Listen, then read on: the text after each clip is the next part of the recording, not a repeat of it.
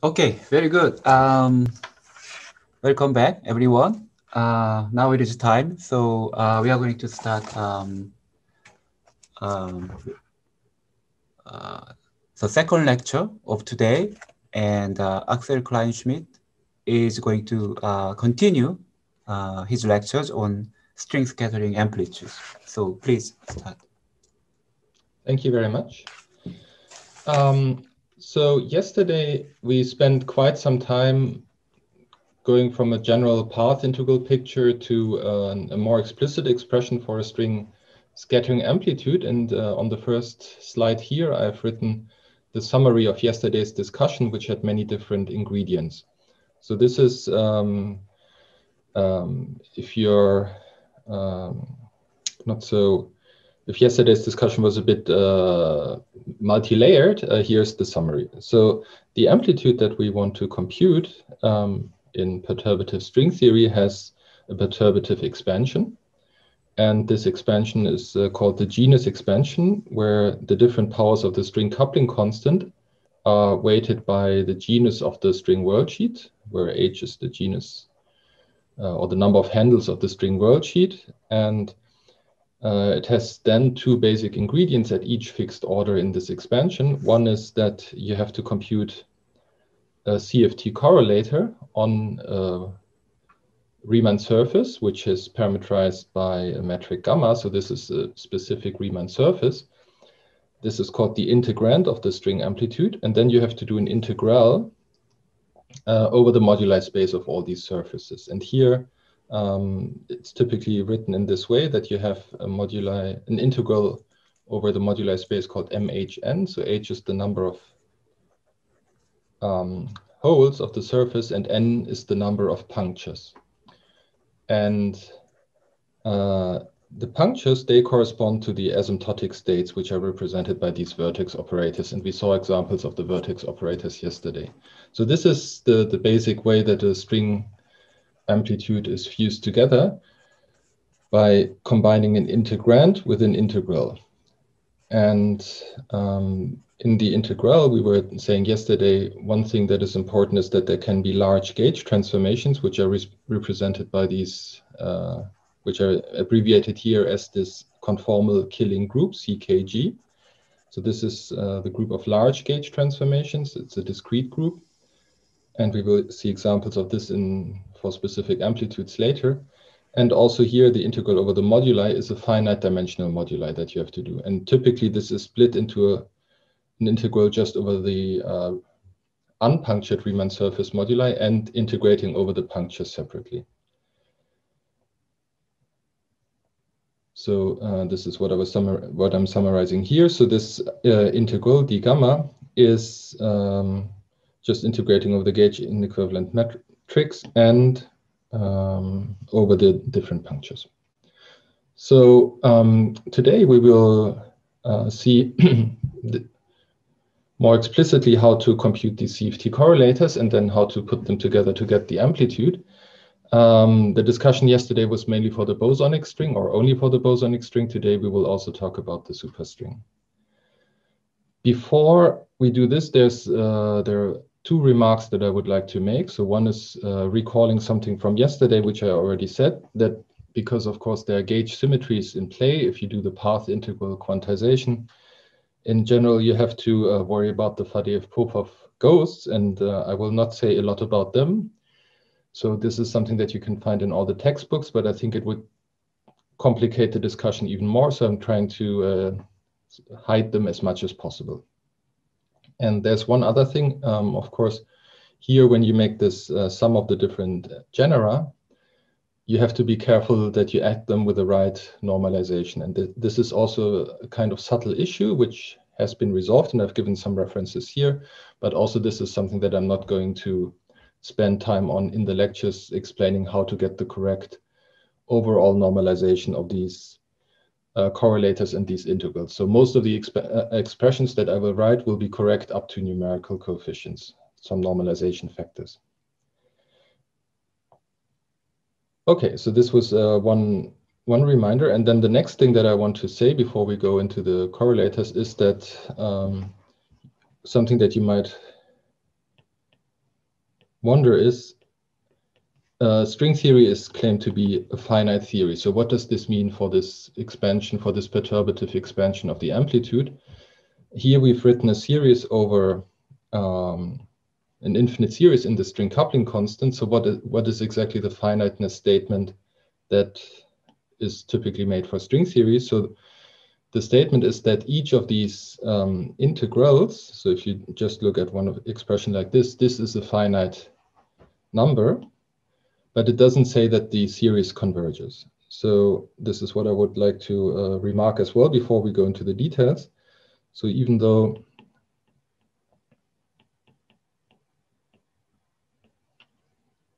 uh, at each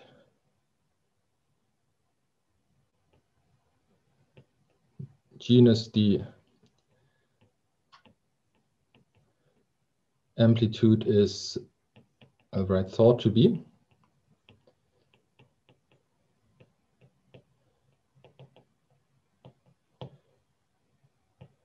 The overall series is asymptotic.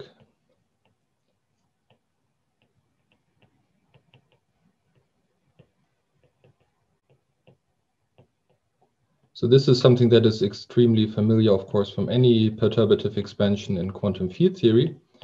When you write down just, uh, you have a small coupling constant, you write down the perturbative expansion of an amplitude. Um, typically, the radius of convergence of that series is equal to zero.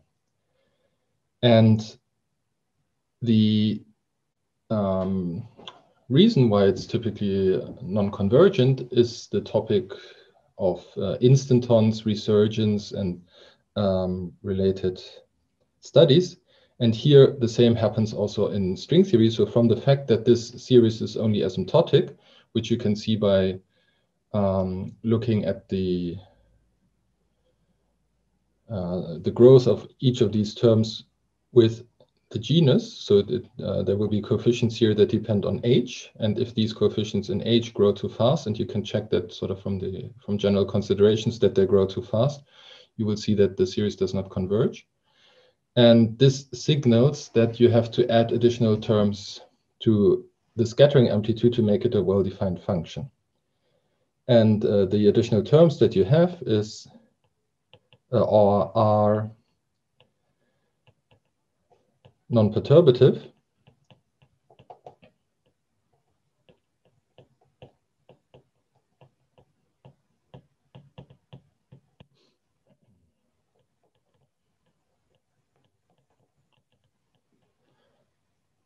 And these non-perturbative contributions, they should scale like something which goes in this way.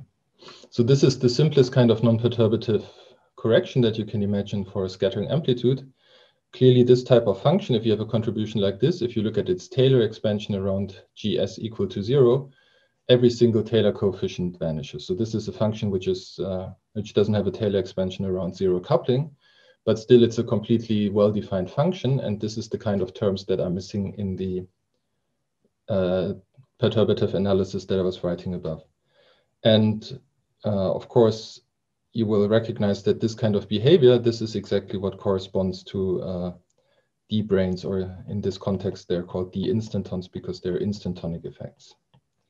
So this is something that was first pointed out by um, uh, Steve Shenker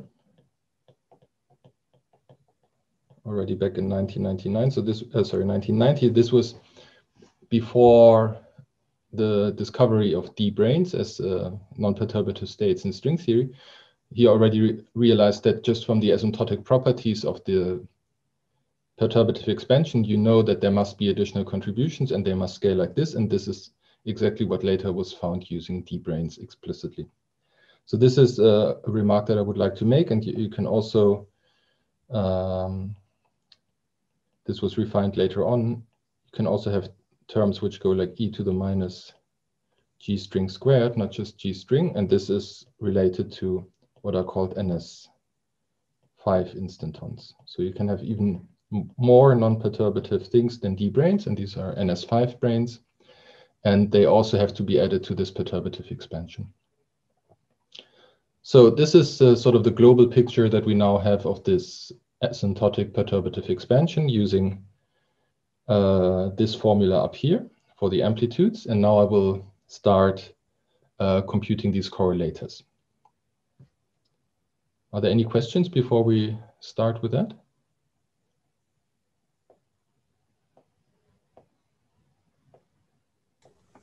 Yeah, I, I have a question. Yes, please. Okay. I think it is relatively easier to argue that we need these kind of um, terms. I mean, exponential minus 1 over gs. And later it is uh, realized that they are related to d-branes and so on. But is it is it now completely established that these two uh, additional terms are all we need and, and we don't really need I mean, more exotic terms like exponential minus 1 over gs cubed or something?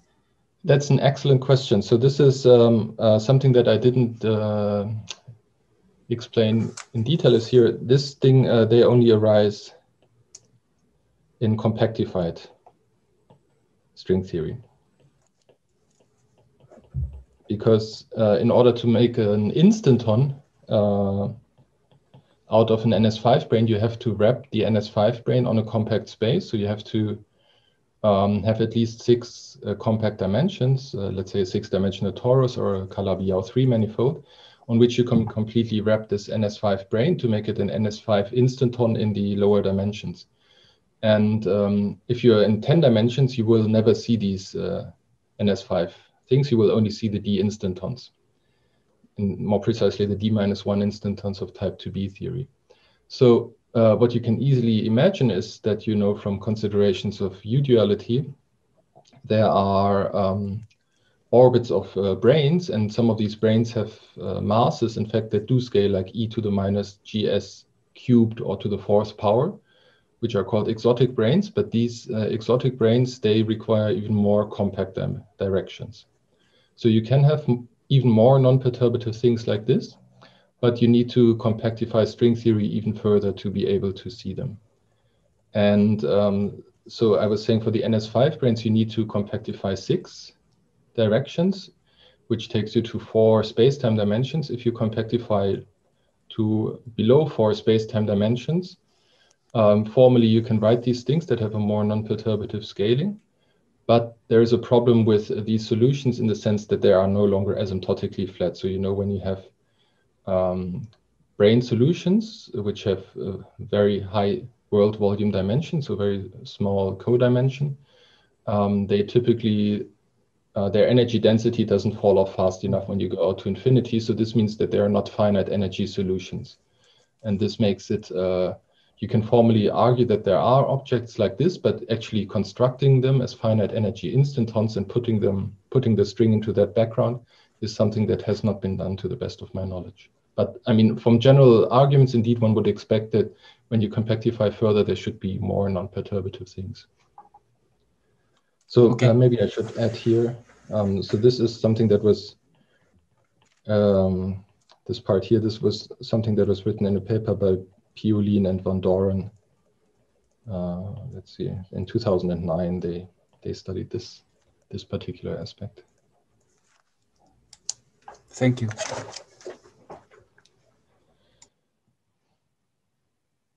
Okay, now there seem to be no other questions, so let's uh, start with the correlators.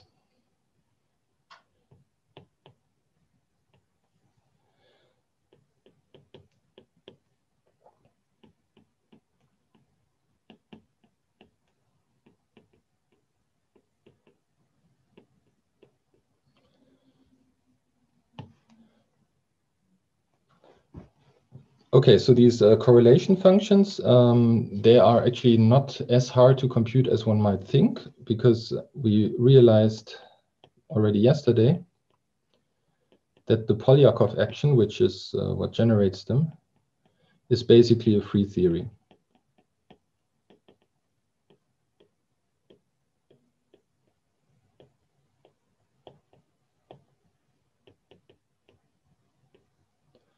Uh, so this uh, is in Minkowski background.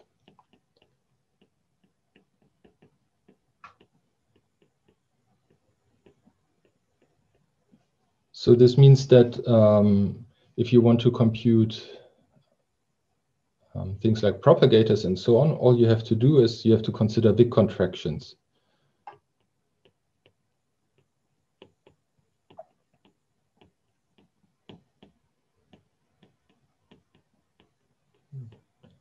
The fields X, there are like scalar fields on the world sheet.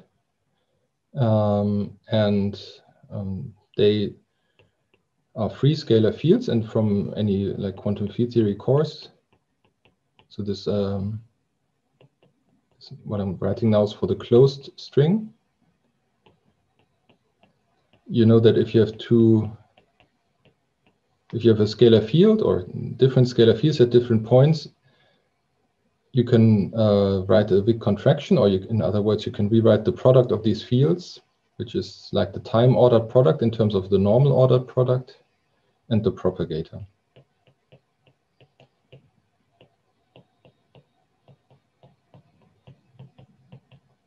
So this, these colons we already saw yesterday, this is normal ordering, and then there is one extra term which comes from the contraction, which is uh, diagonal in the field space and has this additional logarithmic dependence where z12 is z1 minus z2.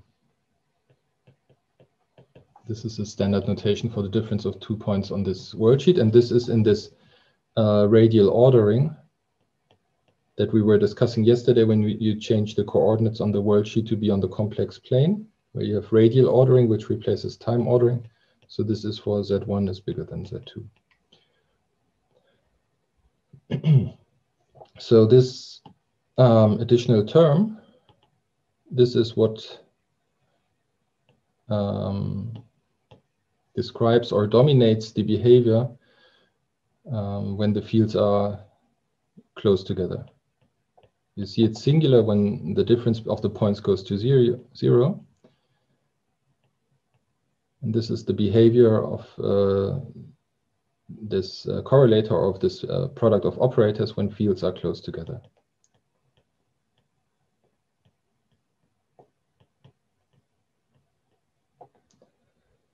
And another way of writing the same uh, formula is as follows. Uh, so let me introduce that terminology as well. This is written in, in what is called the OPE, uh, the operator product expansion.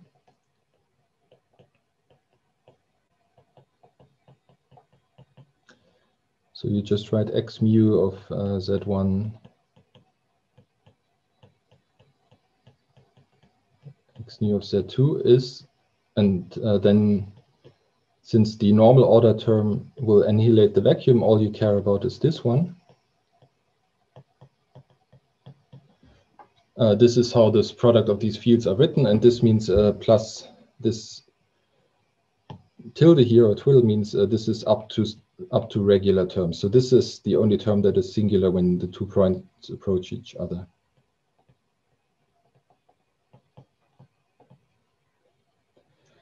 And uh, yeah, I was saying that this is very similar to what you have in, in, quantum field theory, where you would expect the propagator. So let's also make this connection. Oh, and I should say, sorry, um, up here, I mean, if you if you wonder uh, where this equation here comes from, this come if you want to check this, you can easily check this using this mode expansion that I was giving yesterday. So I was writing down how these fields exp expand in terms of these oscillator modes, alpha, m, and uh, then I also explained how to normal order them, so you can easily uh, compute all these terms from the mode expansion and check that this is correct. So um, yeah, so what is the connection of this kind of uh, contraction or operator product expansion to the propagator? And for this, we need to look at the um, evolution equation and its green function in on the worldsheet.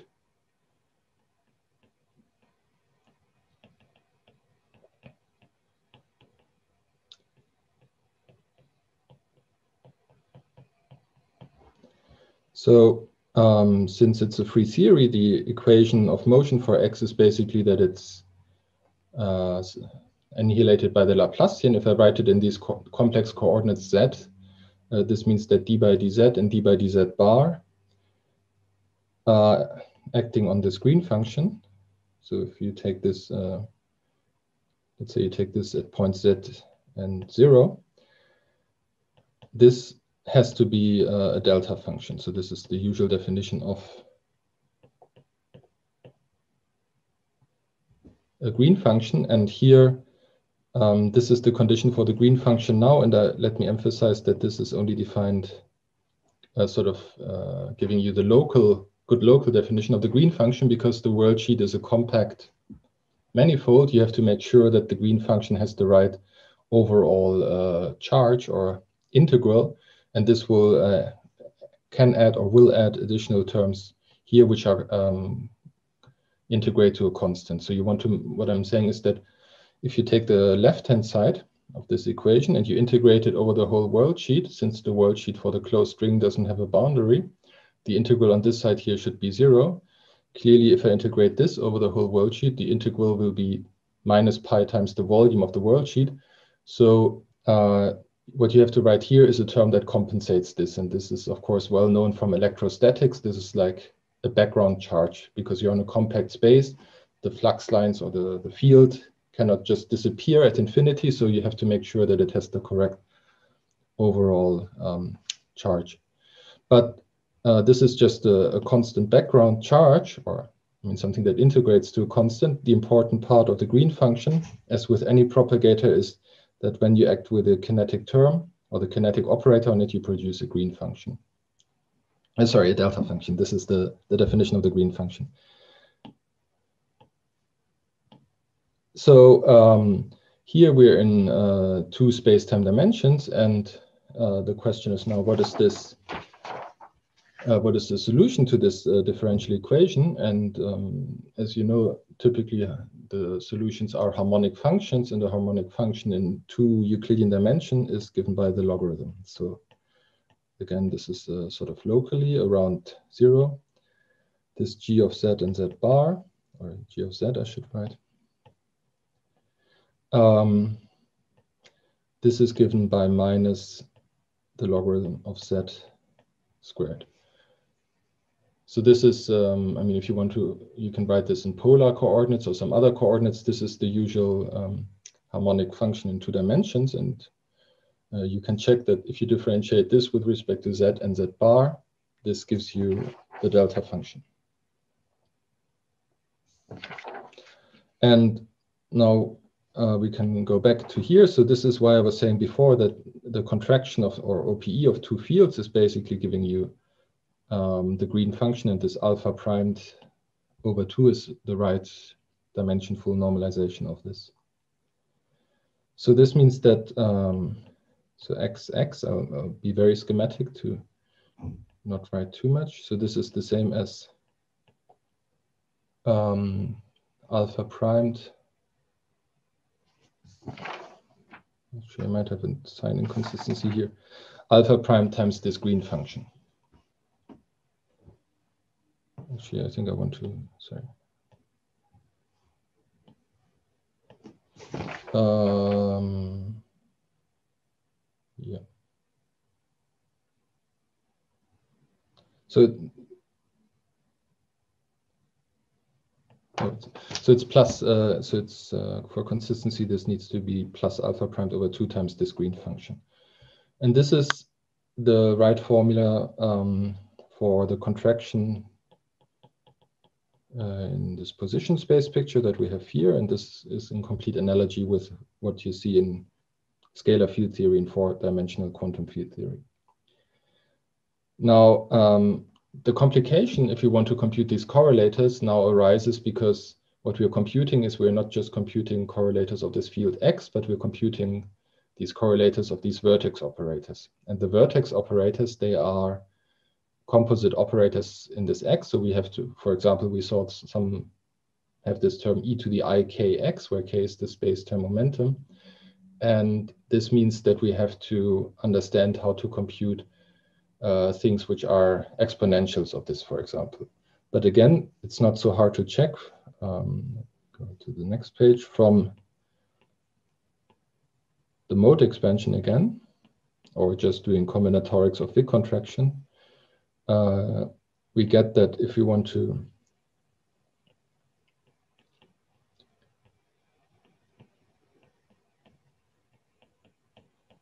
compute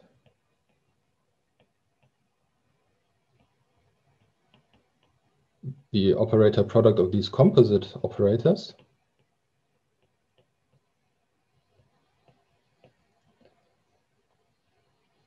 There's again a term which is just the normal ordered total composite operator.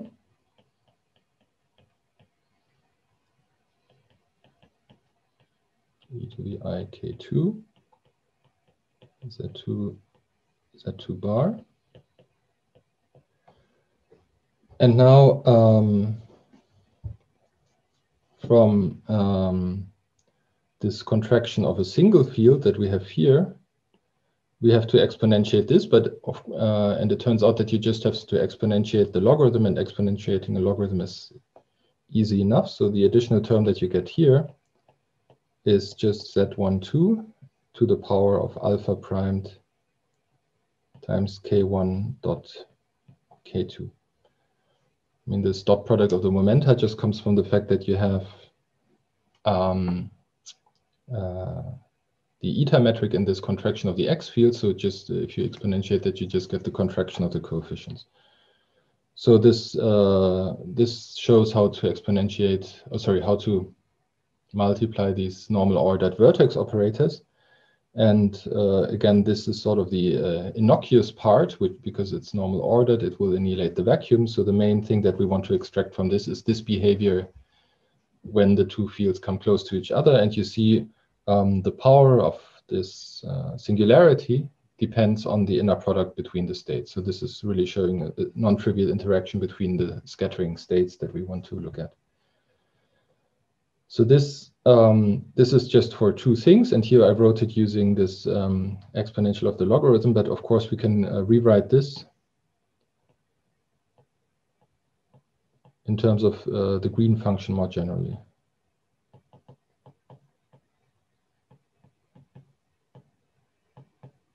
So the green function between two points, Z1 and Z2. And uh, this is the, the more useful way of thinking about this more generally.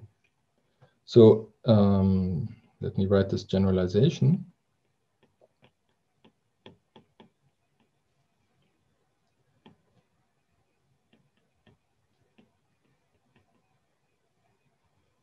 So if you generalize this to a, a product of exponentials, what you get is that um, for n of these, e to the i k i x of zi zi bar. This thing here will be proportional to um, the exponential. Well, let me first write this term. So this is the, uh, it gives you the d-dimensional momentum conserving delta function. So this is overall momentum conservation. And then on top of that, you get the exponential of, um, maybe I'll write this in the next line because it's a slightly longer expression, times the exponential of now all possible contractions between the fields. And you can restrict to the ordered contractions and you just get minus alpha primed over 2 k1 dot k ki dot kj, and then the green function between that zi and zj.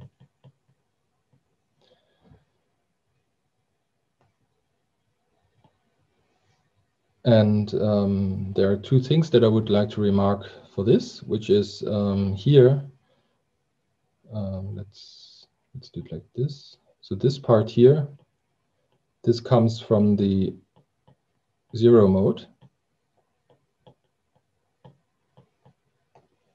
Which is associated again to this uh, sort of background charge, and which means that this is the green function that is here, uh, that does not contain a zero mode. So without uh, zero mode, which means, as I was saying before, that you want to have that this green function has the property that when you integrate it over the world sheet, it should have vanishing integral. It's uh, important and customary to separate the zero and the non-zero modes of the uh, of the Laplacian. And uh, from, just from the zero mode, these are, if you wish, uh, something like constants. If you integrate over them, these products of exponential just give you uh, that the sum of the coefficients is equal to zero. So this is this overall momentum conservation, and then you're left with this other term. And um, since this uh, thing here, so all the vertex operators that we saw yesterday, they included these exponential terms. And this means that whenever you do anything with these vertex operators, products of vertex operators with these exponentials, you will always generate a term of this type. Um, this is why this term is all over the place in these uh, string, uh, string amplitude calculations and deserves a special name. So it's called the Koba-Nielsen factor. And I will typically uh, denote this by Koba-Nielsen and putting a little n as a subscript to remember that this is for n um, different exponentials. So this is uh, something that is all over the place in these uh, correlators and in string amplitude calculations. And in general, you saw yesterday, the vertex operators can contain more than just these exponentials. They can additionally contain the field or derivatives of the field more precisely as well. And the effect of this will be that the correlators are not just Koba-Nielsen factors, but they are dressed up with additional terms. So if uh, the vertex operators.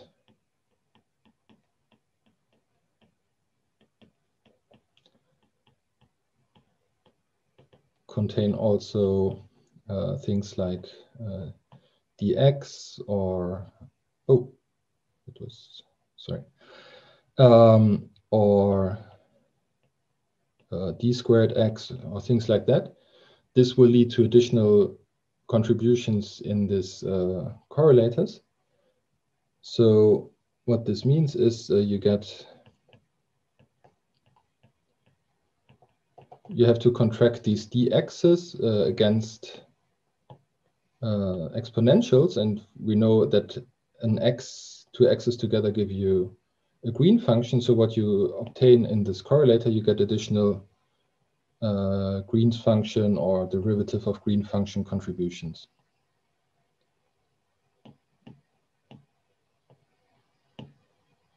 in the correlator.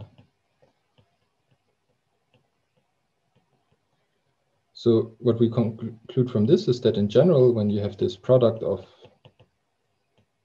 vertex operators, maybe I'll write it uh, like this. So you have n states, n asymptotic states that you want to scatter.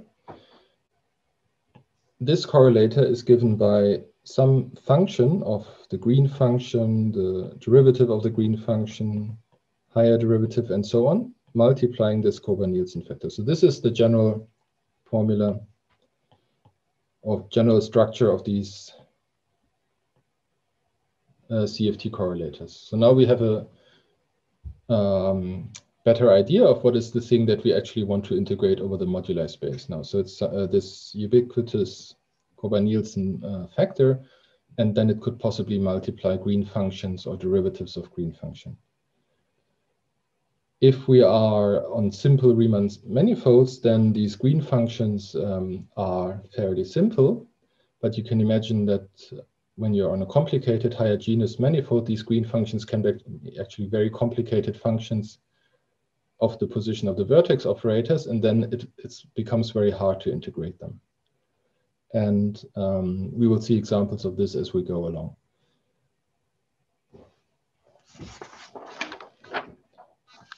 So this is um, the, the general structure of these correlators. And I would also like to uh, say the discussion I was just doing now was for the, for the closed string. for the open string, you get a similar, so we are still in the bosonic string. For the open bosonic string, you get a similar expression for these contractions. Let me write this as follows.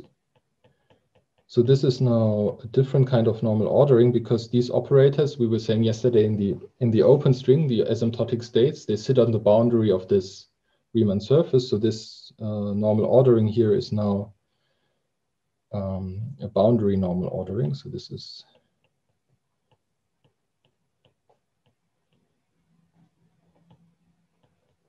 slightly different, but it can be defined also using the mode expansion. So if you have two of these boundary normal ordered exponentials of the field and x1, and I'm writing the fields on the boundary just as x because they're just um, uh, real variables now on a one-dimensional boundary. This is now just given by a similar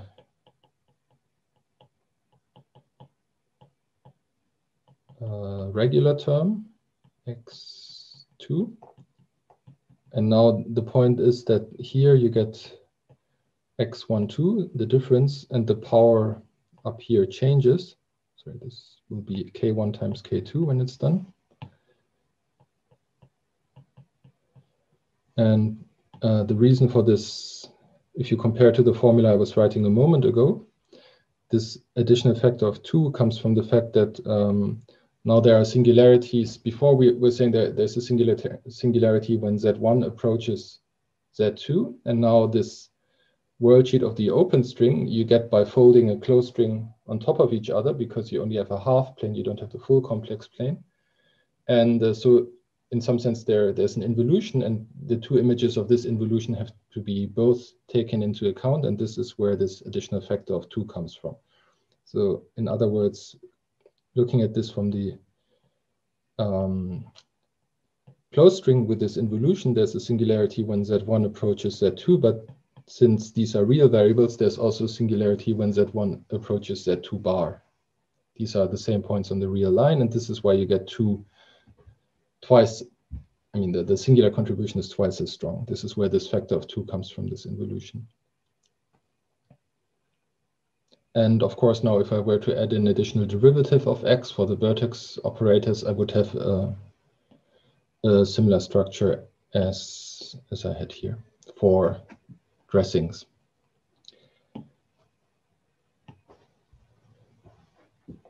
So this is uh, what I wanted to say about the CFT correlators for the bosonic string. And the next thing, uh, the next topic will be to talk about superstrings, but maybe I should pause a second for questions.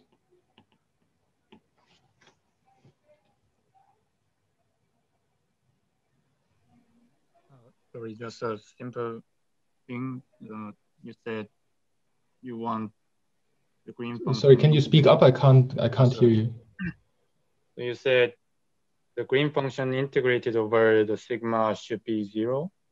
Yes isn't this should be Laplacian of G integrated over sigma zero?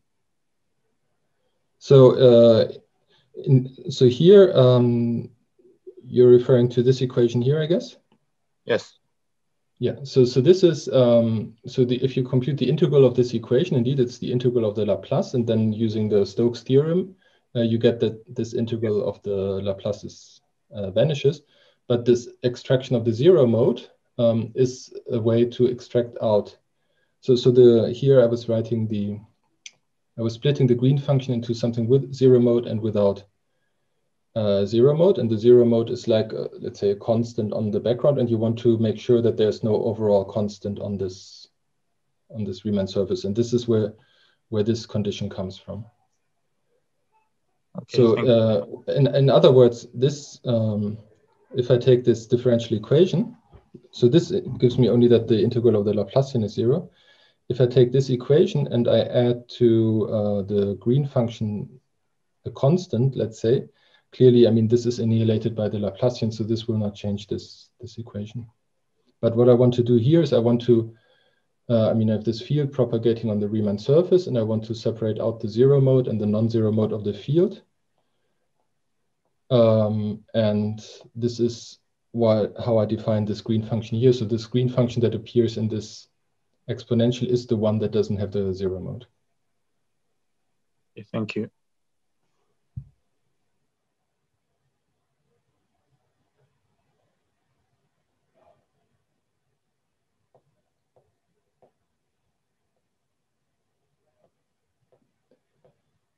Okay, um, so let's talk for a moment about the superstring generalization. So the superstring has an additional worldsheet field or a set of worldsheet fields that is called uh, psi mu on sigma. And uh, now the symmetry that you have um, is no longer the conformal, but it's the superconformal symmetry. But I will not, in the same way that I was not really using this property so much, I will try to avoid using this. But I just wanted to mention it, um, superconformal symmetry. And the superconformal symmetry will also introduce new ghosts.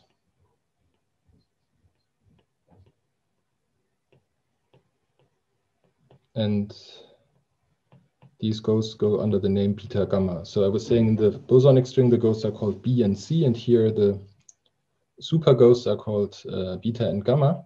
And uh, this is just to mention their names, but I will not write them really. So the worldsheet action of this superstring, uh, which is the generalization of the Polyakov action, takes the form um, so I'm immediately going into a set of coordinates and to Minkowski space for simplicity. So there's the Polyakov part, dx mu d bar x mu. And then you get uh, Dirac-like terms for the fermion, d bar psi mu and um, if you're in the closed string or in general, you would also have a, a second component to the spinor field. So this psi, as I was saying yesterday, this is a Majorana field, and you can decompose it into two, two components, which are typically denoted by psi and psi bar. So this is this, and then uh, outside the integral, there's still the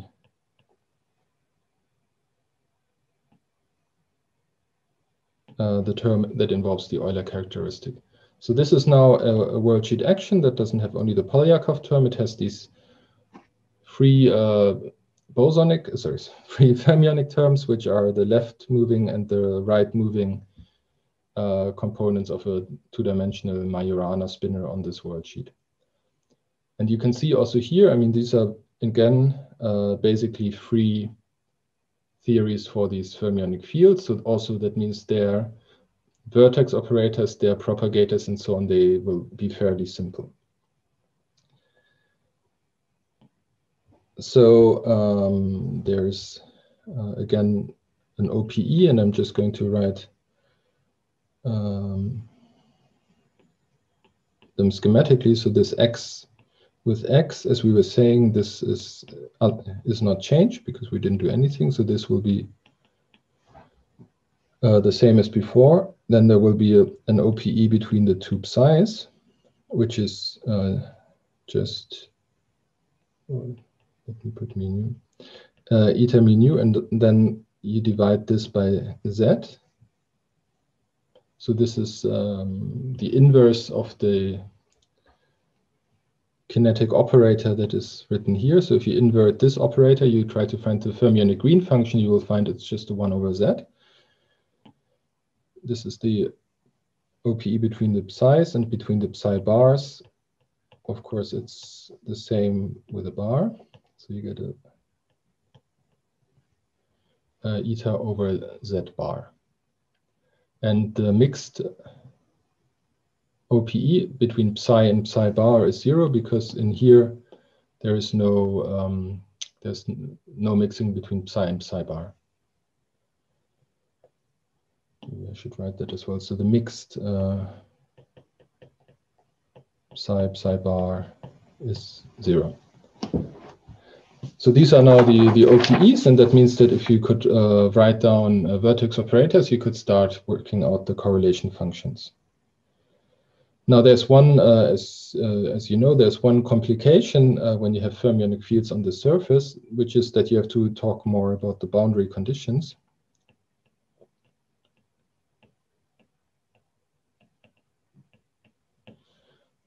and uh, they are no longer unique. So if you take um,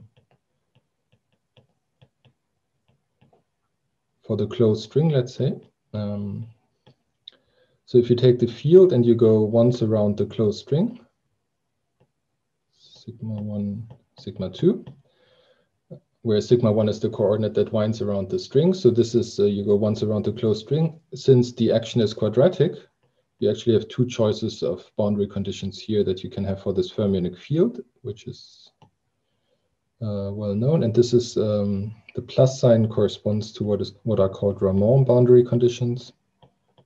And the minus sign, this is known as the Neveu-Schwarz boundary condition. And uh, the Ramond boundary condition, if you do this, so this is just what is happening on the world sheet, but you can, uh, you see also here, of course, these things carry space-time indices and these conditions on the world sheet, they translate into properties in space-time. So these will be, um, skip the color. So these will be space-time uh, fermions and these will be space-time bosons. So this is um, something that you see when you do the mode expansion of the fields and you quantize the oscillators. You can you realize that this is uh, what they are from the point of view of space-time, which I presume you will have seen. So I'm not going to review this. So um, the same thing you can do for the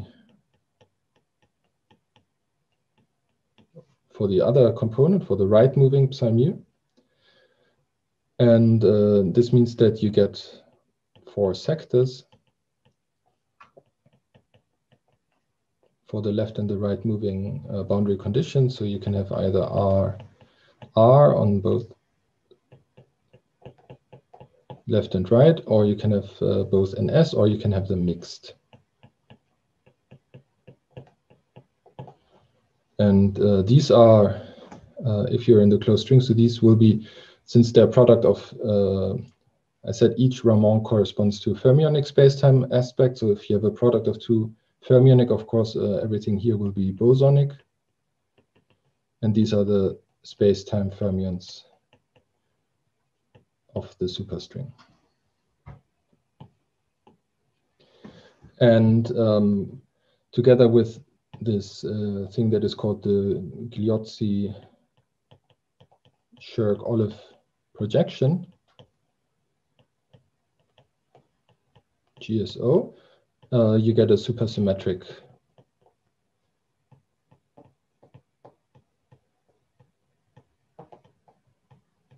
spectrum in space-time.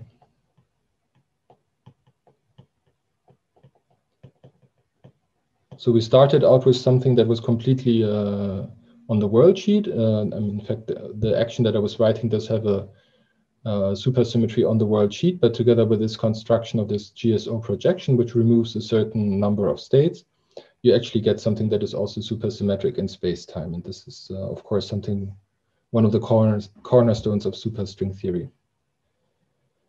Um,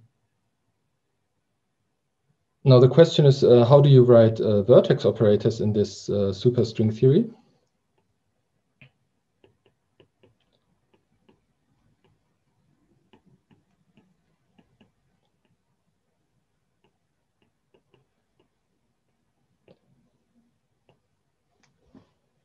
And in order to do this, uh, you will have to um, distinguish, of course, between the space-time fermions and bosons, or between the Ramond and Neveu-Schwarz sectors. So the vertex operators in superstring theory, they look different for uh, NS and R. And these, uh, when you have uh, R boundary conditions, the vertex operators involve things that are called uh, spin fields, because I was saying each Ramond boundary condition involves or corresponds to something that is fermionic in space-time. So you have to somehow keep track of this spinorial property. And these things, they are called spin fields. And um, I think I'm not going to uh, say too much about them. So this is something that um, comes from, so spin fields, uh, they are uh, in representations of the space-time uh, spin group. So this, these are in representations of spin 1 comma 9 and all the uh, amplitudes that I will discuss, they will not involve these spin fields because I'm I will be restricting to the Neveu-Schwarz Neveu-Schwarz sector. So this is uh, this thing with the spin fields is something that is completely settled, but it's a technical com complication that you can look up in, in textbooks if you want to see the details. Instead, I will focus on these uh, Neveu-Schwarz um, vertex operators. And even here, there's one complication, which is they uh, need to be written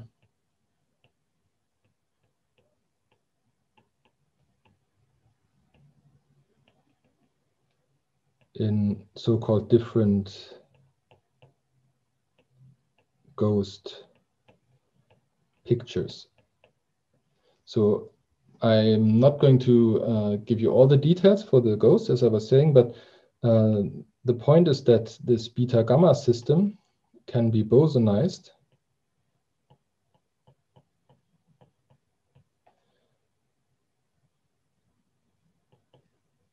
into a, a scalar field, which is uh, typically called phi in this way. So the um,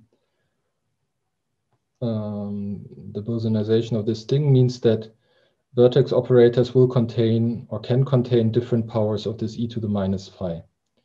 So the, the different ghost pictures here, let me say it like this. So these have uh, different powers of e to the minus phi in them. And this is important for uh, making sure that the correlator or the integral is actually non-zero. You have to saturate the right number of ghost contributions to make the uh, the correlator non-zero. And um, there are also operators that change um, the ghost picture. So this is uh, now I'm giving you a very very rough sketch of what are all the possible things out there. So, so there are things that are called the picture, sorry, picture changing operators.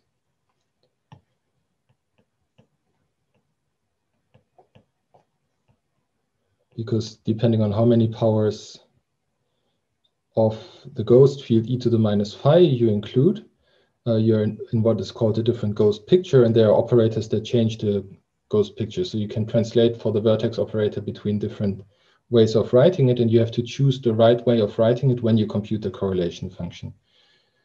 And uh, all these things, they are explained, maybe I should have said this, um, in a nice original paper by uh, these authors, Friedan, Martinec, and Shenker from 1986.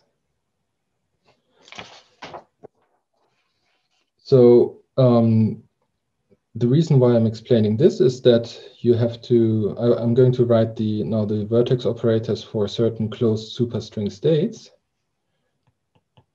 which are the ones that we will be mainly uh, scattering later on. So for massless Neveu-Schwarz Neveu-Schwarz states, these operators look as follows. So um, there's an operator V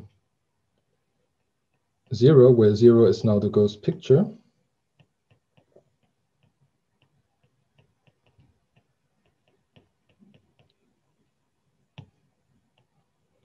And um, let me put it like this. So it depends on a certain polarization tensor. We saw polarization tensors yesterday. Uh, it depends on the momentum, and of course, it depends on the position on the world sheet. And in the normalization, I'm using the operator is given by 2 divided by alpha prime times this polarization, which is now um, a two tensor, and then it's a normal order product of um, you know I id dx plus alpha primed psi mu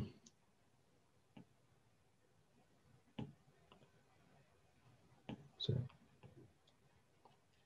uh, psi k rho psi rho psi mu. So there's a bilinear in the fermionic field, in the left moving fermionic field, times a similar expression in the right moving sector. So this is a d bar plus alpha primed over 2 k sigma psi bar sigma psi bar nu times the exponential that is always present. So this is uh, now one way of writing the vertex operator of a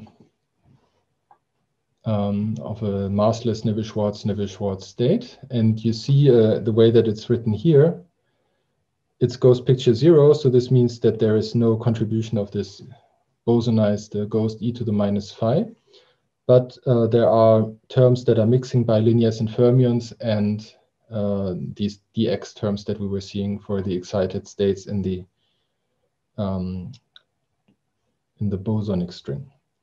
So this is uh, maybe a bit surprising because in the bosonic string we were saying that uh, we had the d-x's, they corresponded to, when you act on the vacuum, they looked like alpha minus one oscillator. So they would go to the first excited state. But by contrast, you know, this massless Neveu-Schwarz Neveu-Schwarz state is uh, on the lowest possible level of the superstring. And if you write it in terms of oscillator, it doesn't contain any alpha minus one oscillator, but it's constructed completely out of Neveu-Schwarz, Neveu-Schwarz oscillator, which come from these psi fields. So this, um, this is why writing the operator like this without ghosts uh, is a bit unintuitive because it has alpha minus one oscillators that you wouldn't expect normally. The operator looks a bit more intuitive in the other picture. So if I write it in the minus one picture, um, apparently I'm losing the uh, 2 over alpha primed. It just has what you would expect, namely the psi mu and the psi bar nu acting on e to the i k x. So this is uh, now, when you think about the state in the oscillator representation, this is what you would expect. So it just has a single action of a fermionic oscillator. Uh, the price you have to pay for writing the operator, the vertex operator in this simple form is that you have to include also the ghost fields. And uh, these two ways of writing these, uh, the operator for the state, I mean, they're completely equivalent. They're related by this picture changing operator. Um, but for, as I was saying, for putting them into the correlator, you have to balance the ghost picture in the right way in order to get a non-zero answer.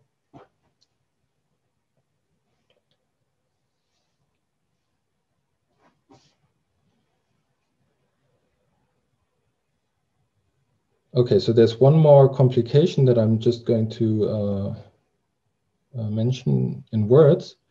So uh, for uh, spinor fields on uh, Riemann surfaces, uh, you have to worry about boundary conditions, as we were saying. And this is related to the fact that you have to choose a spin, what is called a spin structure.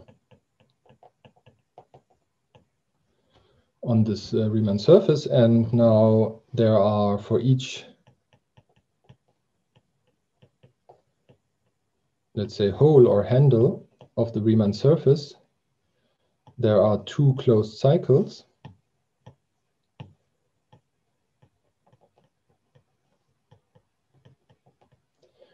Uh, which means that the uh, and for each of these cycles, you have to say now when you take a spin around this closed cycle, whether it uh, comes back with a plus or with a minus sign. So the total number of spin structures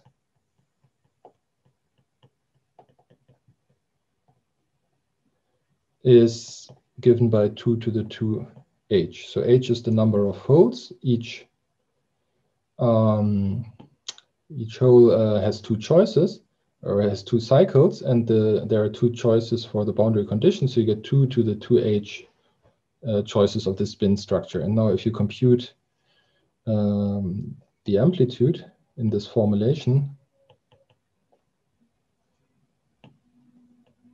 sorry, um, so computing the amplitude,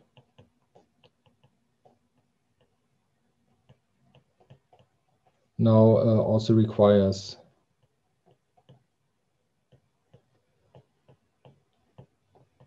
summing over the spin structures. So this is an additional uh, complication.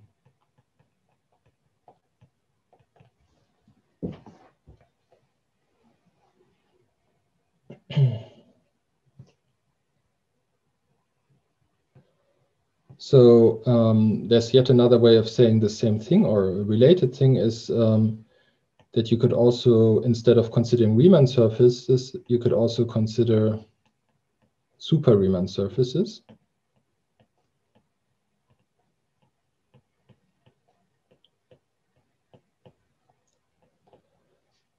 And oops, and look at the moduli space of these uh, super Riemann surfaces.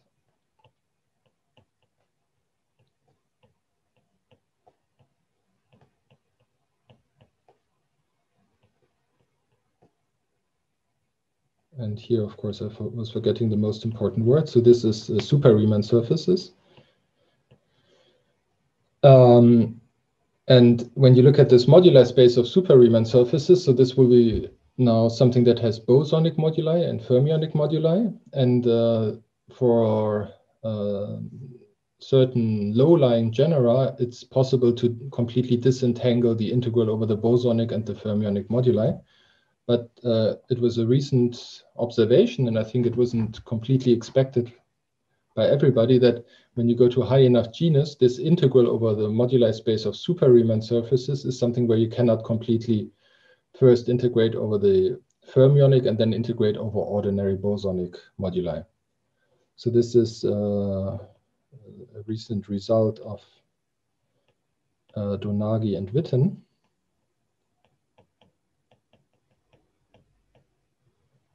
Uh, from 2013, this uh, moduli space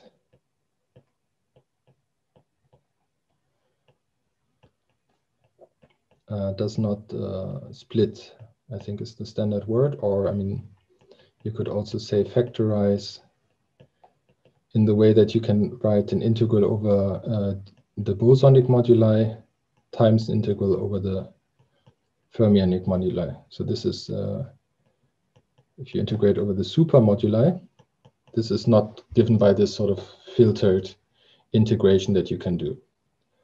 And uh, this makes life much harder because describing the super integral immediately intrinsically is, is something that is not uh, very well studied. Um, so this is sort of just a mathematical result about this uh, supermoduli uh, space or moduli space of super Riemann surfaces, but um, it has so far not had any consequences for the uh, string scattering calculations for uh, two reasons. So one reason is that we can alternatively rewrite the amplitude uh, using these uh, spin structures or using uh, also other formulations like the pure spinor string. And uh, the other thing is that um, the, um, the integrals that are being done for string scattering amplitudes are specific integrals. So this is a, a, general statement about the, the structure of the integral, but the ones that we're interested in are very specific. And so far, uh, there have been no obstructions in doing these specific integrals. But as a mathematical general observation, uh, this one uh, stands and uh, needs to be taken into account.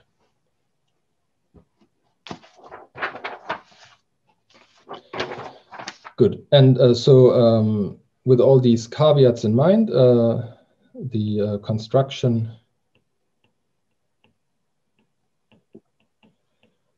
of the amplitude or the structure of the amplitude is uh, similar to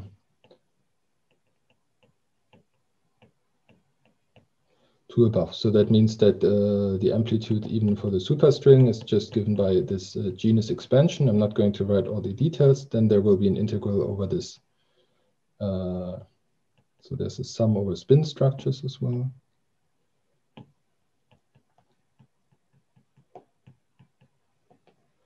Then there's an integral over this uh, moduli space. And then there is some uh, super conformal field theory correlator between vertex operators of the type that I was writing, where you have to make sure that you're in the right ghost picture. So the, the general ingredients, they're all the same. Of course, there are additional whistles and bells for the superstring, but um, rather than describing them in full detail here, I decided to uh, make this explicit by looking at examples. So this is now the end of the general discussion of uh, the structure of these amplitudes. And the next thing that I will want to do is I want to look at some uh, specific examples. Are there any questions about the general structure before we turn to that?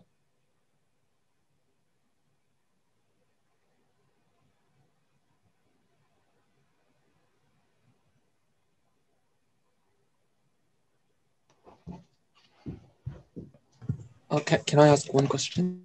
Of course, please. I'm not, don't know much about this, but uh, regarding the um,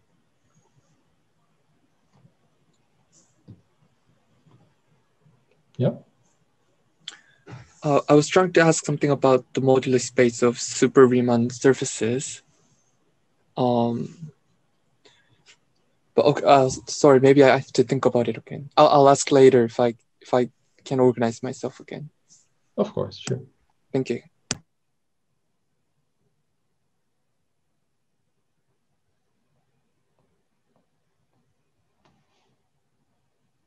Good. So now we um, come to uh, the second section. And this section is completely concerned with uh, what is known as tree-level amplitudes. So these are the Riemann surfaces that do not have any hole, and we want to just compute some representative amplitudes in that framework. So um, yeah, so maybe I'll write that. So the aim is to compute representative examples.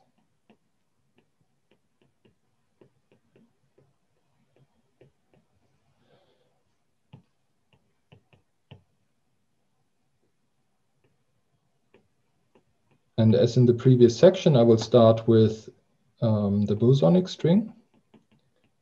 And I will look at uh, bosonic string tachyons. So the tachyons are the ones that are the lowest lying states in the bosonic string. Of course, they're uh, that's their existence shows that the bosonic string is not a very sensible theory, but it's also, I mean, this doesn't prevent us from computing their scattering amplitudes to start with.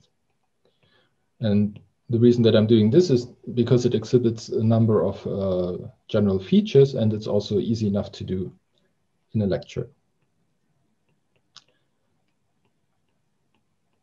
So the um, first uh, instance, uh, of course, there are different ways of writing the uh, different string theories, even in the bosonic case, and I will uh, first look at the open-oriented string, so which means that let's say if you look at a four point function, you have four open strings that look like this.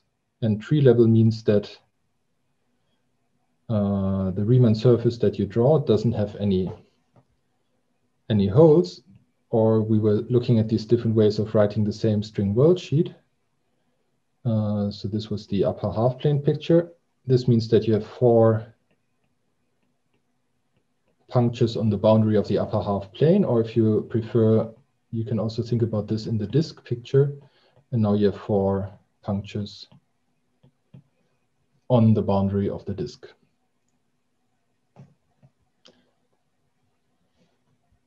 So the disk uh, has um,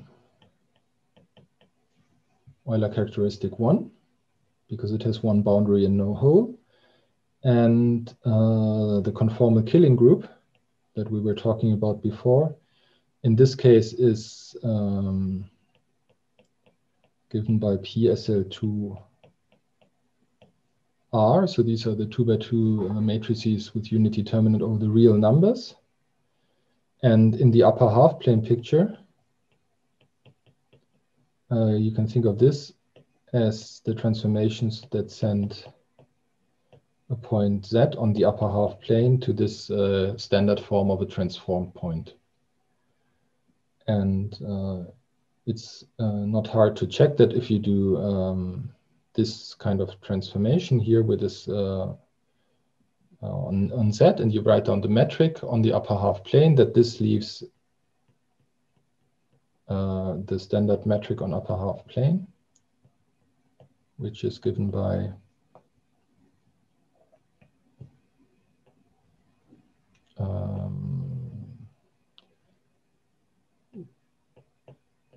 uh, this expression here Uh, so this will be uh, dz, dz bar divided by the imaginary part of z squared. So this uh, transformation uh, that I was writing here for a two by two matrix A, B, C, D in, in PSL2R, this will leave this metric invariant. So that's a very simple calculation to, to do in check. So this is uh, why these um, transformations here, we were saying the conformal killing group, these are the residual symmetries of a metric. So here I've fixed the metric on the upper half plane, and I still have residual symmetries of transformations acting on that metric. And uh, one can actually check that these are all the residual symmetries. So this is why the conformal killing group in this case is um, uh, is PSL2R. And uh, something else that you can check is that there are no moduli in this case. So, so uh, this means that uh, this metric that I've written here is actually up to diffeomorphism and Weyl transformations, any metric. So any metric can be brought into this form.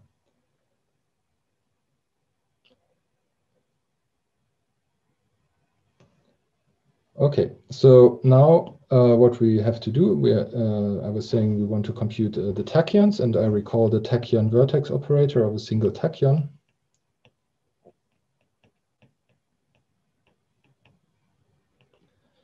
was given by this uh, normal ordered expression, just e to the i k x, where now uh, this thing here is something that lives on the boundary.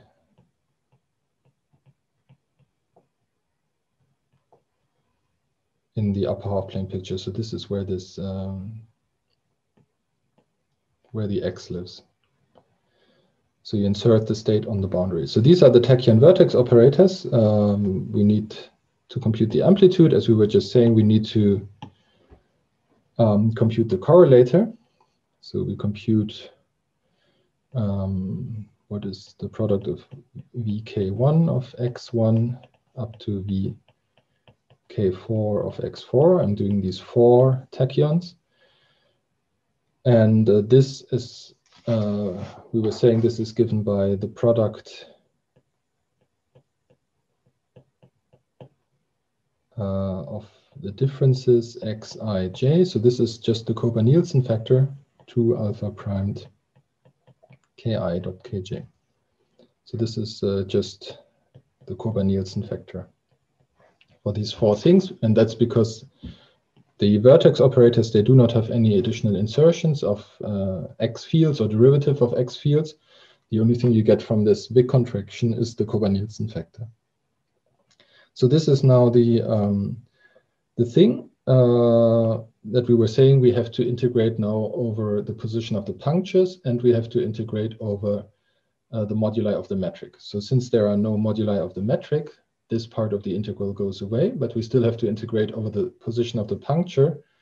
And we have to take into account the conformal killing group, which is the resid residual symmetry. So um, uh, the residual symmetry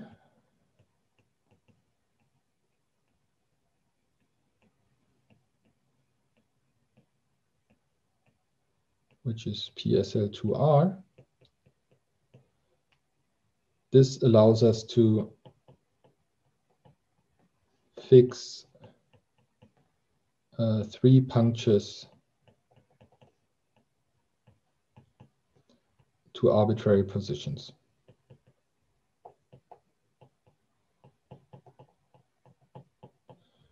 So PSL2R is a three-dimensional real uh, group, and you can use it to move uh, any of the any three points to any other three points. So this allows us to uh, fix three to arbitrary punctures, and uh, the standard choice that I will do is that I put x1 uh, at the origin at zero on the real line, x2, sorry, no, x3 actually, I will put at the point one, and x4 I put all the way to infinity.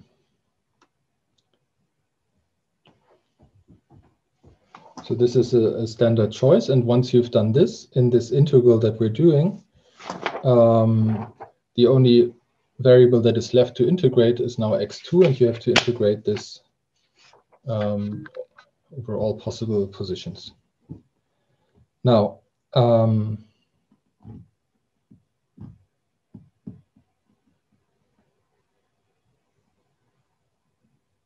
Okay, uh, yeah. So uh, now let's do these integrals. So one thing that I want to do uh, in order to simplify the answer is I want to rewrite things in terms of the kinematic uh, variables, so, which is saying that if you have four particles and uh, you look at the uh, phase space of these four particles, so these are tachyonic particles, it's typical to write this in terms of uh, the Mandelstam variables.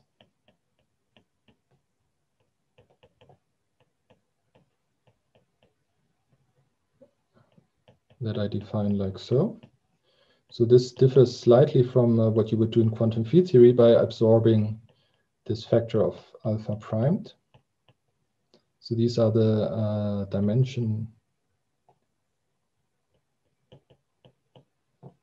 uh, less Mandelstam variables.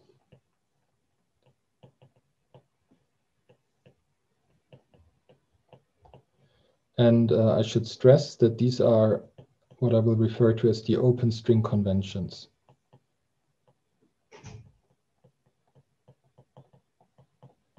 If you do uh, later on we will do the closed string and then the definition of the Mandelstam variables will be slightly different, which is uh, an eternal source of sorrow when you do these kinds of calculations. But um, that's related to the fact that in some sense an open string is uh, half of a closed string. And uh, that's why there is an overall factor of two or four coming in some of these formulas. So this is now the right set of definitions here for this open string. And um, moreover, we have that, uh, so these all these ki, the momenta of the four tachyons, because they are tachyons, they square to a fixed number, so they are on the mass shell, and this is this is given by this following dimensional full uh, quantity one over alpha primed. And uh, recall that I'm in the minus plus plus metric convention, so this positive square of k actually corresponds to a negative mass squared, and that's why they're tachyons. Um, and by this general uh, analysis of this phase space, uh, there's a following relation between these two, uh, between these three Mandelstam variables. So there are only two independent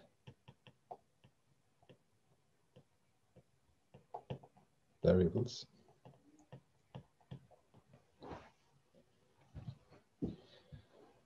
Okay.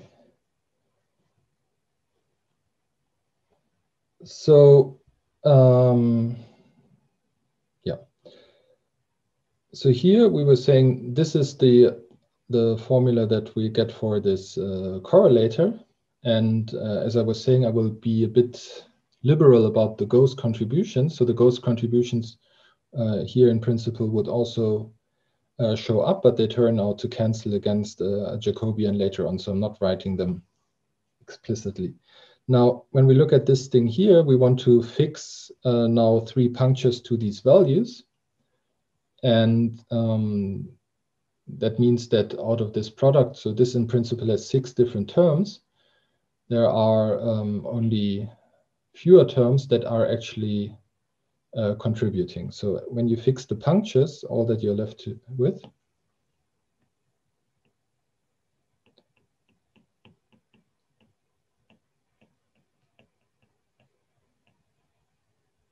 uh, the uh, Koba-Nielsen integral simplifies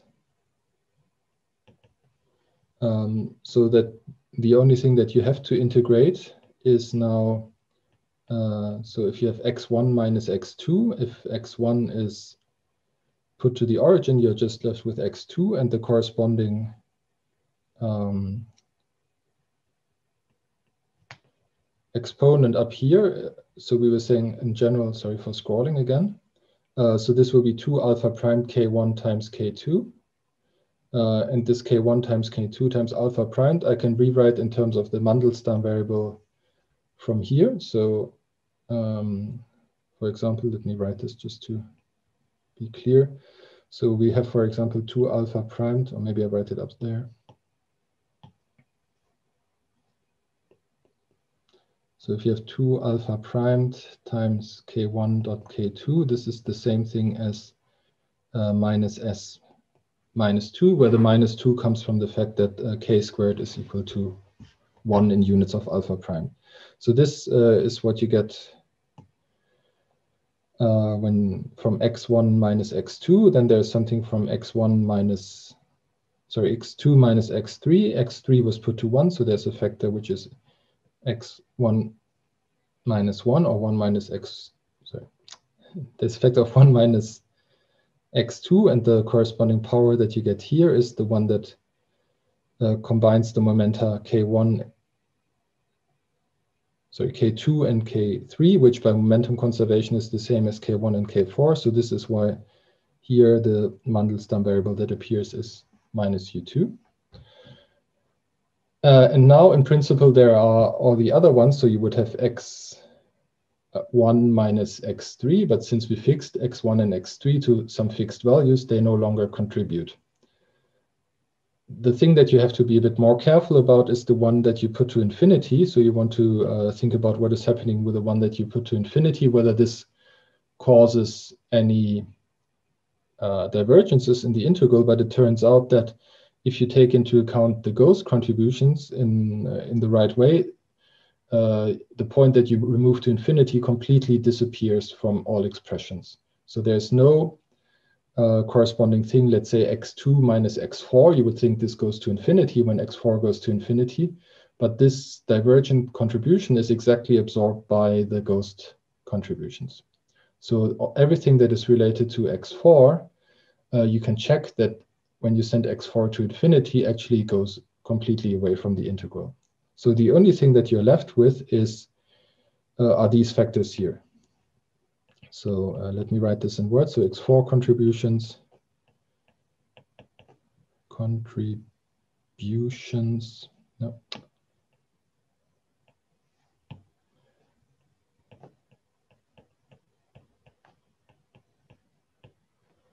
Uh, completely disappear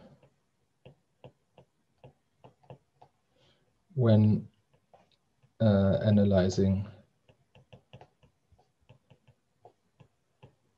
the ghosts uh, correctly or carefully. So uh, yeah, I'm not going to go through this analysis. It's not so complicated, but it would take some time. And the upshot of this analysis is just that uh, you can completely ignore everything that is related to x4 in these expressions. So now the only thing that we're left with is uh, this product of things that depend on x2 and uh, x2 is unfixed. So this is the remaining integral that we have to do in order to compute the amplitude. Now um, there are, uh, you have to be a bit careful because the boundary of the disk is uh, is a, is a one-dimensional line and points on that line are ordered. So there are six inequivalent orderings of the points.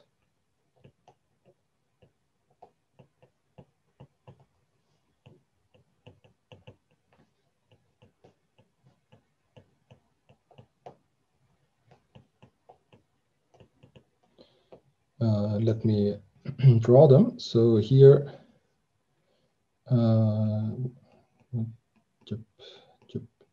one, two, three, four. And what I'm going to do is I'm going to keep x2 uh, fixed, and I'm just looking at how the other points are related to this. So there are cyclic reorderings where you have one, three, and four.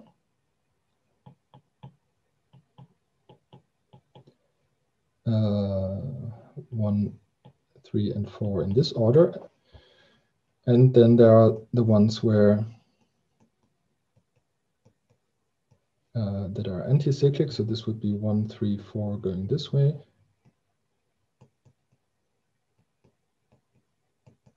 Um, one, three, and four going that way.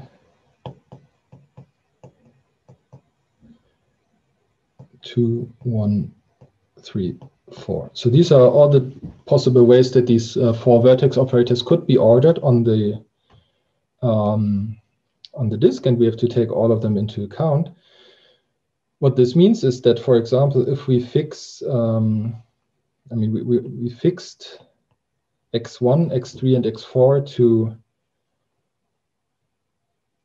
the values 0, 1, and infinity. So uh, in this case here, for the first diagram, this would mean that uh, where x2 lies by this ordering is between 0 and 1, because you see uh, here the point 2 is between uh, 1 and 3. This is, uh, and we fix this to 0, we fix this to 1, so the integral over x2 will be only an integral between 0 and 1 in order to represent this particular ordering of points. And now the thing that you have to integrate is what I had written up here. And uh, for this uh, range, when x2 is between 0 and 1, I can drop the modulo sign. So you, what you have to integrate is this, and then you have 1 minus x2 to the minus u minus 2. So this is uh, now the contribution of this ordering of points from um, the remaining integral over the position of the vertices. So this uh, and similar expressions exist for all the other six, for the other five orderings. Now this integral is something when you know your uh, special functions or when you look it up, that is uh, a standard special function known as the Euler beta function.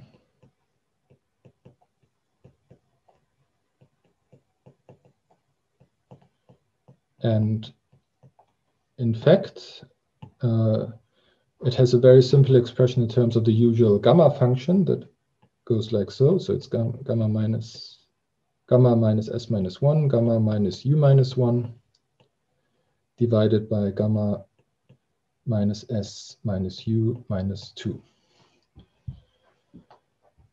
Now, uh, so this is the uh, contribution from just the first ordering of the points. And uh, when you take the other orderings into account, um, there are some that are equivalent and some where just the Mandelstam variables get moved around. So the um, you can just do this by relabeling the points. So the total amplitude that we compute now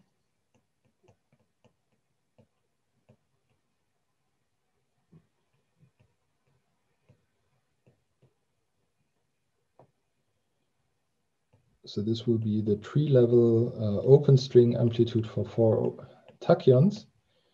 This will be um, proportional to, um, okay, let me write some factors. The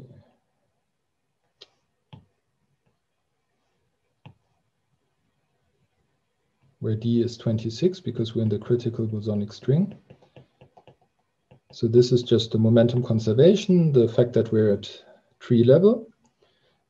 And um, then it's given by this beta function.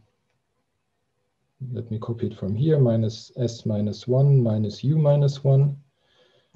And then the other permutation, so minus uh, s minus 1 minus t minus 1 minus um, then we have minus t minus 1 minus u minus 1. And uh, that's, so here I wrote three contributions, but I drew six diagrams up there. That's why I added this factor of two, because uh, two of them are always the same, because the function is symmetric. So this, this is the summary of all these uh, six different orderings of points. And um, this gives now something that is completely symmetric under the exchange of st and u, and ex is expressed in terms of these Euler beta functions. And uh, this will be now the, the last uh, thing that I'm going to say for today, namely that uh, this is a, very famous expression, which is the so-called Veneziano amplitude. So this is an amplitude that was uh, first written down by Veneziano in 1968, and this uh, is considered by many people as the birth of uh, string theory, the fact that this amplitude takes this form uh, where I should actually say, I mean, if you look at his paper, he doesn't do the calculation that I was just uh, describing. What he was doing is that he was um, looking at uh, certain physical properties of the amplitude that were observed in uh, accelerator experiments, and I will discuss these physical properties in the next lecture. So he was just uh, guessing a formula, which was uh, this formula here, that had all the right physical properties. And the fact that you can derive it from this uh, string picture was something that was only realized later because people were very intrigued by his formula and were trying to find a, a model that uh, produces this amplitude. And this is in some sense how string theory uh, got discovered, right, after he wrote down the amplitude. So this is, um, yeah, so this is the our first really completely explicit example of how to make sense of this general formalism of string scattering amplitudes, namely, uh, we write on the vertex operators, we compute the correlation functions, we integrate over the positions of the vertices, and if there are, over the moduli of the metric. And uh, we get some final answer, which is uh, typically expressed in terms of some special functions. And this is uh, one uh, instance that we see now fully explicitly. And uh, as I say, so tomorrow we will talk about uh, what this amplitude now encodes as physical properties. But at least now we have seen uh, how to go through all the different steps in such a derivation of a, an, an amplitude computation from uh, the conformal field theory of the string explicitly. So uh, yeah, I will stop here for today. And um, if there are questions, I'm happy to take them. Thank you very much for excellent uh, lecture. Uh, okay, so uh, are there any questions? So we have time for uh, questions and discussions.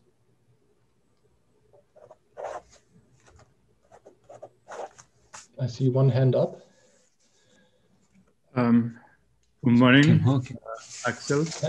Um, maybe it will be nice if you could uh, comment about the Green-Schwarz formulation of uh, the string and the amplitudes. Uh, uh, that was uh, maybe a suggestion. Mm -hmm.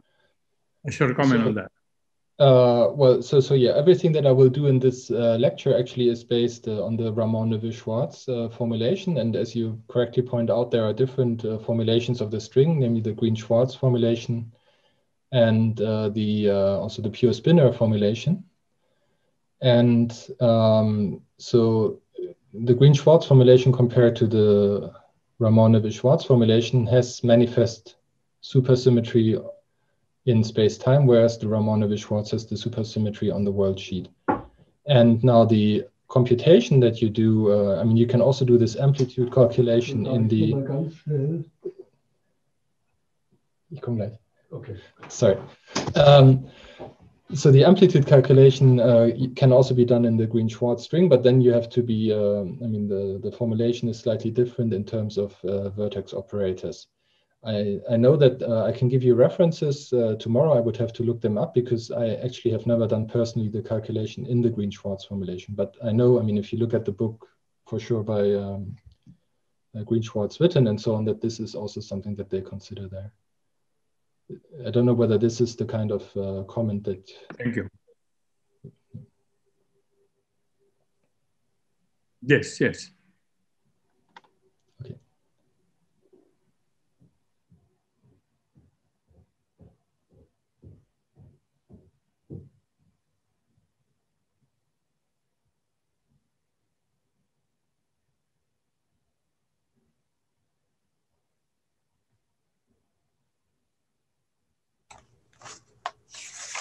Uh, Uh, can I ask the question? Okay. So, so about the um, modular space of the super, super Riemann surfaces, why is it? Can you further explain why the fact that it doesn't factorize into into the bosonic part and the fermionic part is makes um, makes things much more difficult to calculate. Um, yeah, so this is, uh, let me give you just a, I mean, a standard um, analysis uh, analogy.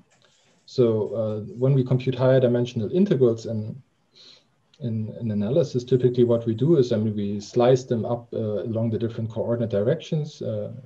I think this is sometimes called the Capelli principle or something like this. But anyway, I mean, if you want to compute about a multidimensional space, you just go integrate along one direction, then you integrate along the other direction. And uh, we're used to the fact that this gives the, the right answer for the integral. And um, we're actually not very used to having integrals to do where uh, this is not possible, where you can't slice it up, where you can't slice up the integration domain. And this is exactly what this non-splitness of this super um, space of super Riemann surfaces uh, is saying this result by Donagi and Witten that there are uh, instances where our standard intuition fails. And uh, this means we have to develop or use other methods where you actually have to do sort of the whole integral in one go. You can't do it step by step. And uh, this is something that, um, yeah, we're not very, very used to. And uh, I don't think that for this uh, non-split super moduli space, uh, actually it has been developed a method how to do this calculation. So this is why this is an important um, uh, obstruction that one has to keep in mind. But as I was saying, uh, and that's also I think what the authors are saying in the paper or in talks that I've been to, is that why whereas this is an important uh, uh, mathematical computation, it doesn't mean that the integral that appear in any sensible string theory calculation, like this amplitude calculation, uh, are impossible to do. So, so far, uh, there hasn't been any calculation, I think, in string theory where you would see this problem. But uh, at least the authors, uh, Donagi and Witten, they express the fact that um, this shouldn't be an obstruction in defining a string scattering amplitude. I see. But um, for for Riemann surface, if we want to integrate um, over some some some sort of measures. I heard that there's the like uh like recursion relation that can help you calculate some some specific integrals, but those things might might not help in this case, right? Uh, that's right. Yeah. So so um, yeah, I'm not exactly sure which recursion relations you're referring to, but um, so maybe maybe like um uh, recursion relation for Weil-Petersson volumes and so on. Yeah, yeah. Okay. Yeah, so this is, uh, yeah, but this is uh, only for the Riemann surfaces, yeah. I see. Yeah, so there was a paper, I think also by, uh, uh, by Witten recently where he sort of uh, revisited this uh, uh, uh, construction and uh, also I think he has some comments about the super case if I remember correctly. So so it's something that has been uh, that has been looked at yeah. Okay thank you